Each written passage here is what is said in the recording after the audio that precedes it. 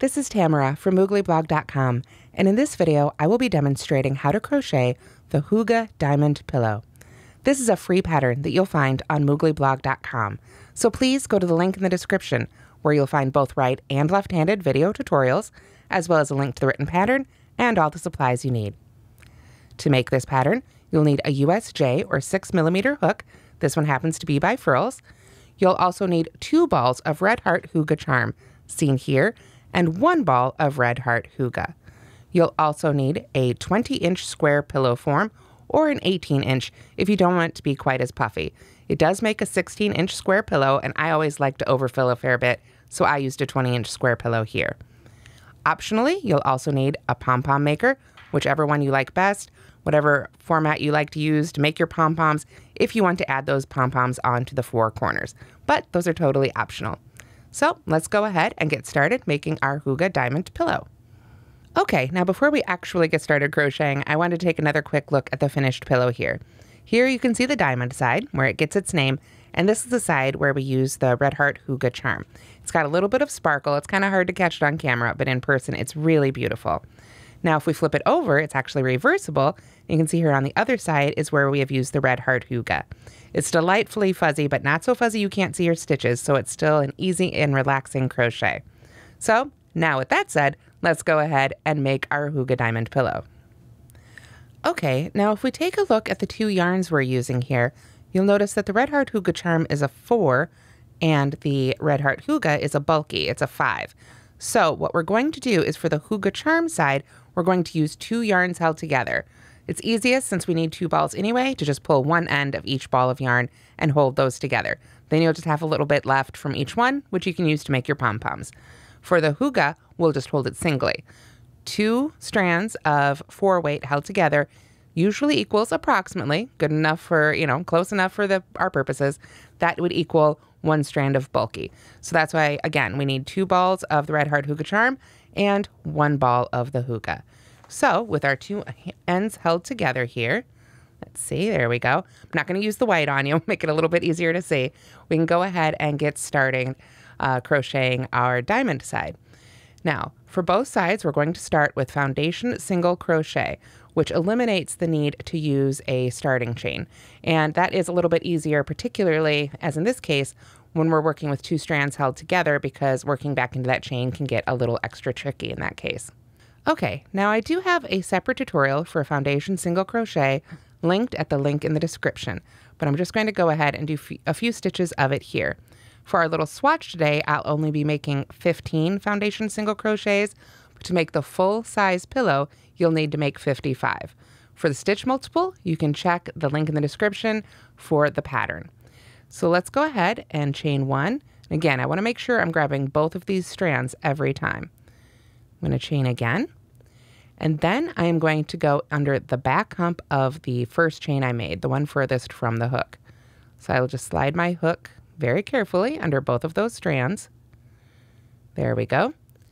Go ahead and pull up a loop like so. This loop right here is going to count as the chain at the base of our first single crochet. So now I'll yarn over and pull a loop up as if we were just pulled up a loop from the chain. Then we yarn over and pull through two to finish our single crochet. So that's how you make the first one. For the ones after that, you go under the two loops now at the bottom. Remember, that's going to be four strands of yarn for us because we're using two strands held together. Pull up a loop, That'll be the chain at the bottom of our next stitch here that we're working on. So we yarn over and pull up a loop to begin the single crochet. Then we yarn over and pull through two to finish it. So we're just going to keep making those. Again, if you're making the full size pillow, you'll need 55 of them. I'm just going to make a few more here. And then when we get to the end of row one, I'll rejoin you for row two. Okay, so at the end of row one, you should have a total of 55 foundation single crochets. If you don't like the foundation single crochet or you'd prefer not to use it, go ahead and chain 56, skip the chain closest to the hook, and just single crochet 55 across. As long as you've got 55 single crochets at the end of row one, that's the important part. To begin row two, we're going to turn, of course, and then we're going to start with a chainless starting double crochet. That gives me a really firm edge to work into when we join those two pieces for the pillow together. If you prefer, though, again, you can use any double crochet substitute here that you prefer. So you could chain three or chain two and double crochet right in that first stitch, however you like to do it best. However you like to get a double crochet in that first stitch. If you do want to try the chainless starting double crochet, again, I have a link uh, a tutorial linked at the link in the description, and I'll show it to you again real quick here. I'm going to pull up that loop on my hook up to about the height of a normal double crochet. Again, I am working with both strands here. I'll hold onto those with my finger, wrap them around the hook, go right into that first stitch, pull up a loop, yarn over, pull it through that first loop and behind the one that was wrapped around the, the hook. Still got my finger on that loop. Yarn over, and pull through those last two loops, like so. Then we're simply going to double crochet in each remaining stitch across. This first stitch already has a stitch in it, the chainless starting double crochet, so each remaining stitch gets its own double crochet.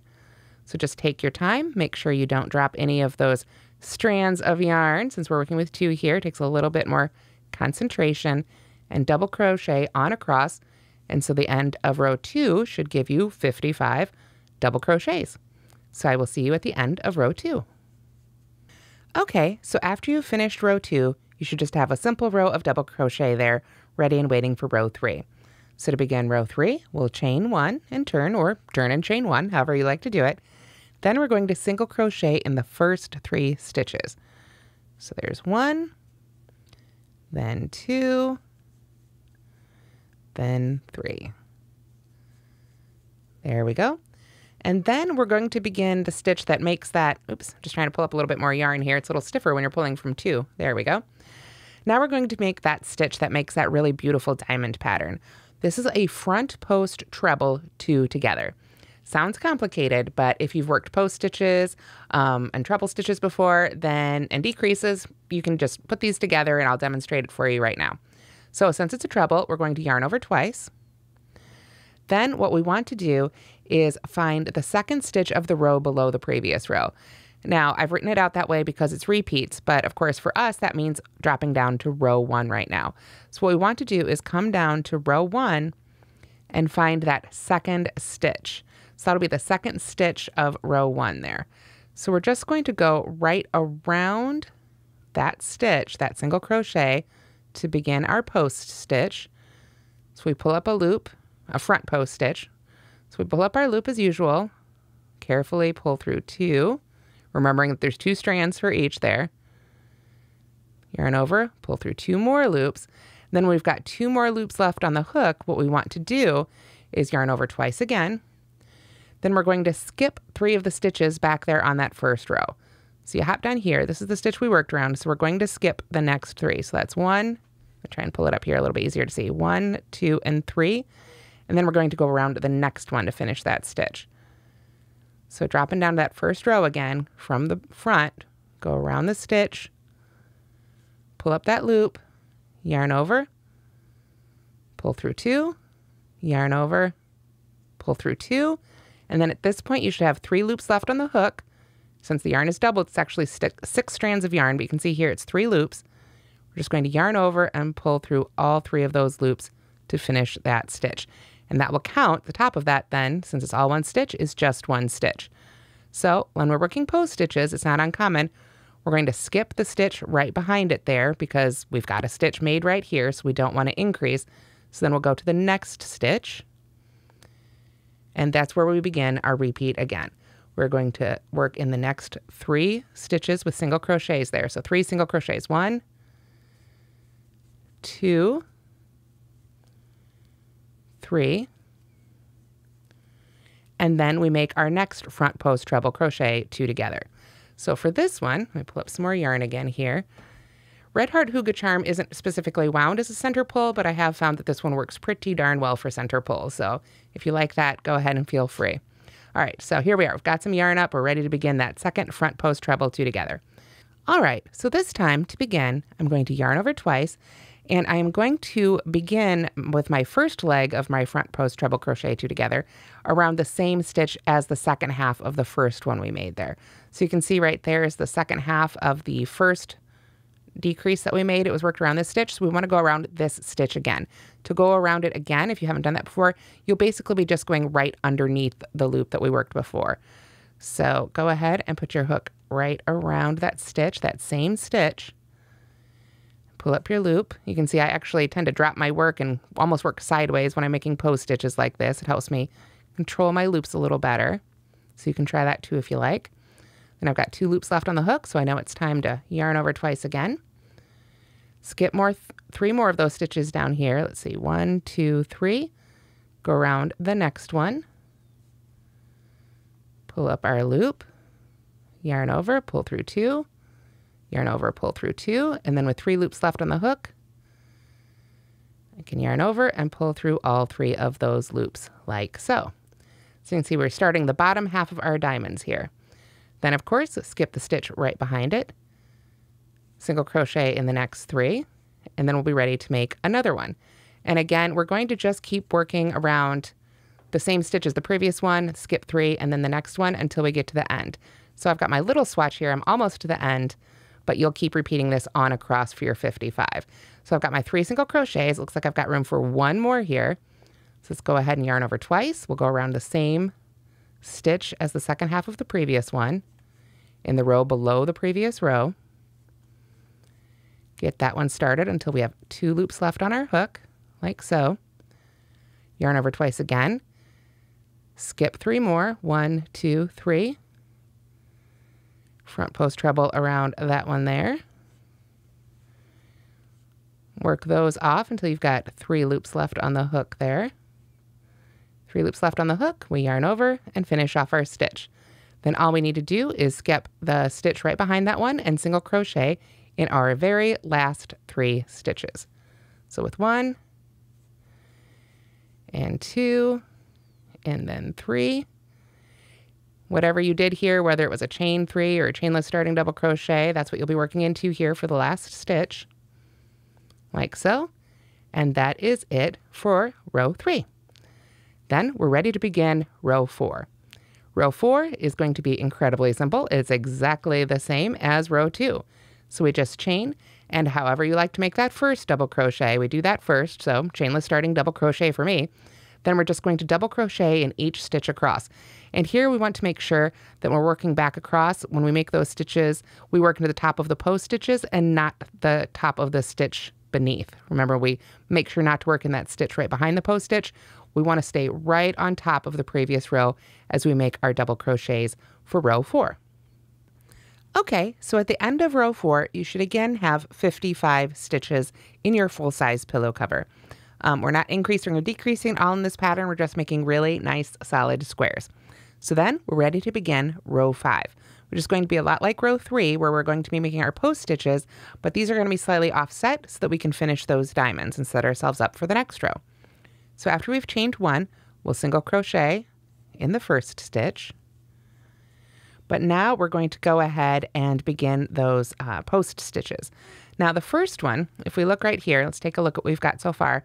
You can see it's sort of like a, it's just pointing up right there. So to make that a diamond, we're going to have one all by itself, not a decrease, just a front, front post treble up for front here. So we're yarn over twice.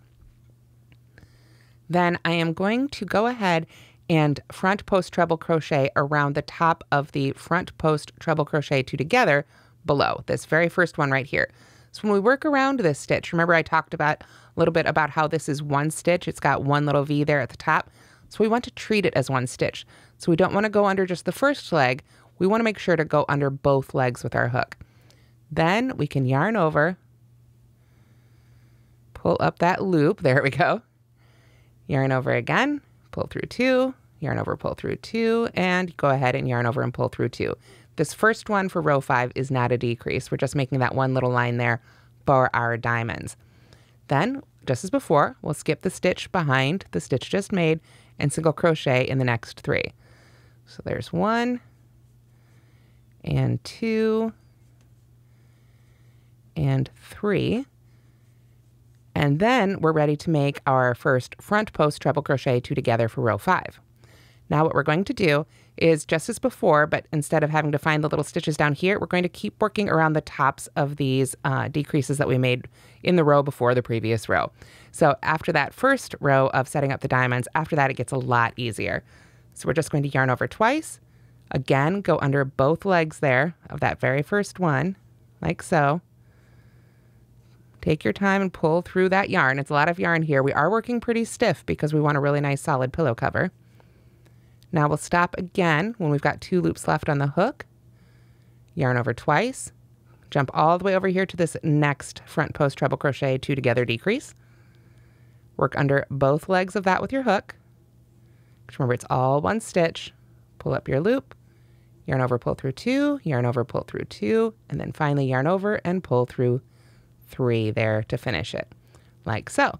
And you can see now we've got that great diamond shape.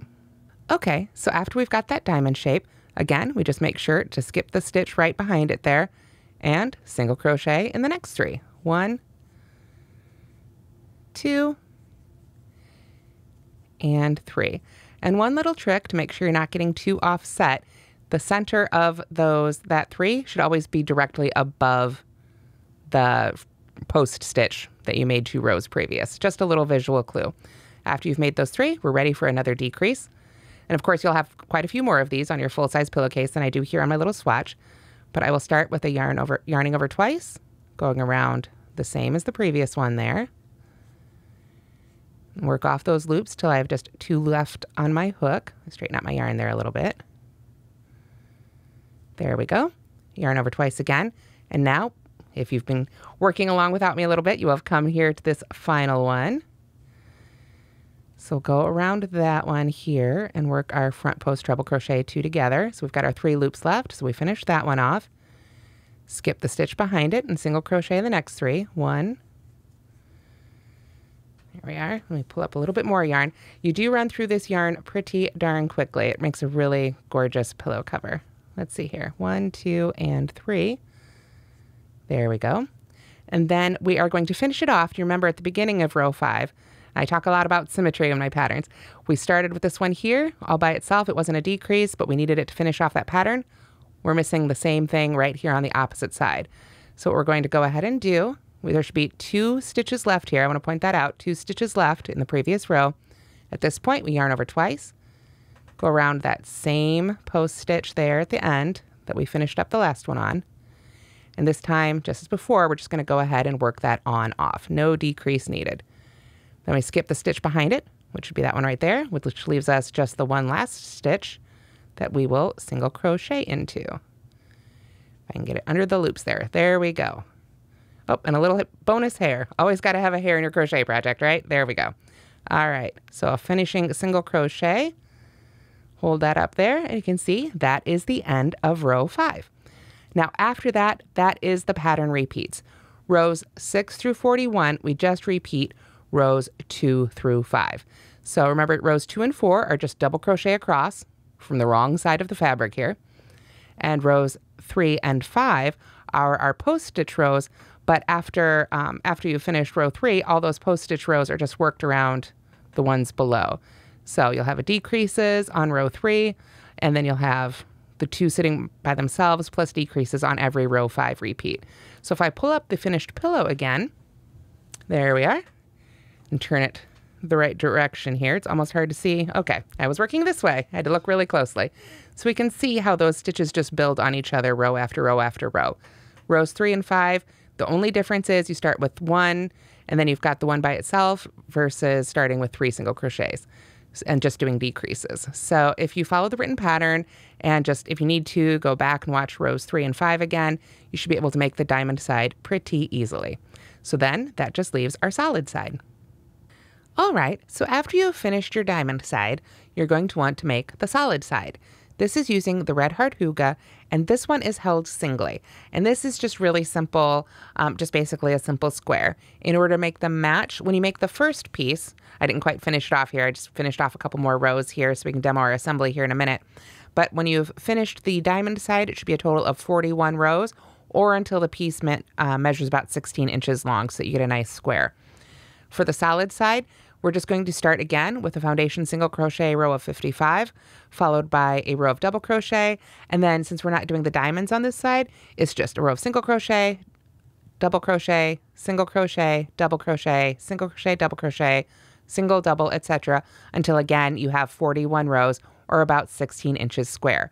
After you have made both of your pieces, I do recommend blocking them both um, with water or steam, however you like to do it, to make sure that they are the same size. Even though you're working with the same hook and two strands of this equal about one strand of that, a little bit of blocking just help them match up perfectly, won't go amiss. Then you'll be ready for assembly. Okay, so when you've got both pieces made and blocked, you're ready to start joining them to assemble your pillow.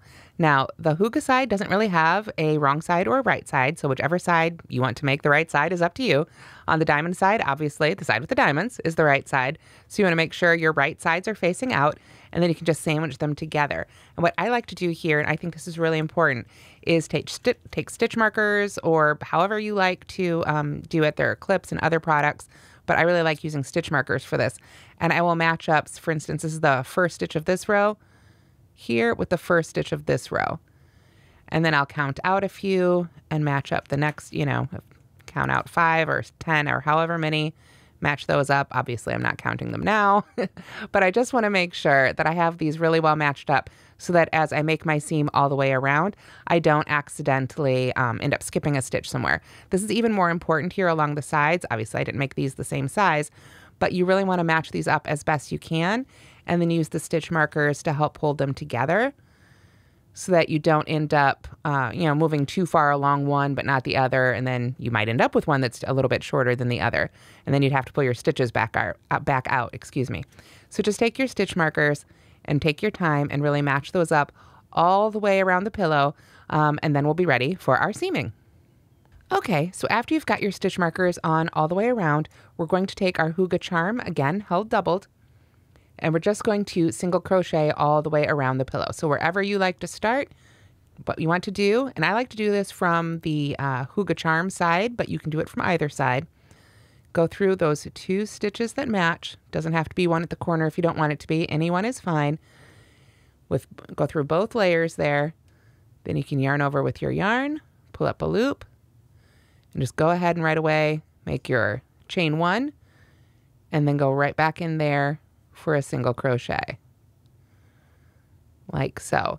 And we're just going to continue doing that. Work in the next pair of stitches. Make sure you go through both layers and make a single crochet.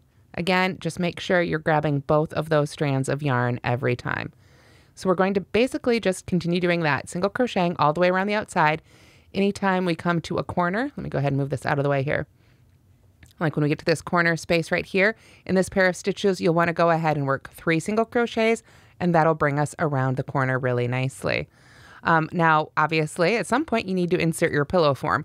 So when you've got three sides seamed and maybe a little bit of that fourth seam, that's where I like to stop, stuff in that pillow, and then go ahead, single crocheting all the way around until you've finished off. Then you can join and break your ends and weave in your yarn. Okay, so after you've finished seaming up all the way around, all that's left to do is add the pom-poms if desired, and then you've got your two-sided Hygge diamond pillow all set. Again, this yarn, this uh, pattern rather, featured Red Heart Hygge Charm and Red Heart Hygge and a USJ hook. This one is by Furls. I hope you'll give this pattern a try as well as both of these lovely yarns. Again, the Hygge Charm has such a great sparkle. I just wish it showed up a little bit better on camera. Thank you so much for watching this video, you guys. If it helped you at all in making your own Hygge Diamond pillow, please do let me know. Don't forget to hit that like button. If you have more questions about this pattern, please let me know in the comments or hop on over to that link in the description and let me know over there. I always like to answer the comments and questions on the blog as well. So again, thank you so much for watching. Have a great day, and please don't forget to subscribe to the Moogly YouTube channel.